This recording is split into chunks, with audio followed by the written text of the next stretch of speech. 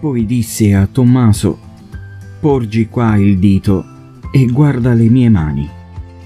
Porgi la mano e mettila nel mio costato e non essere incredulo, ma credente. Tommaso gli rispose, Signor mio e Dio mio.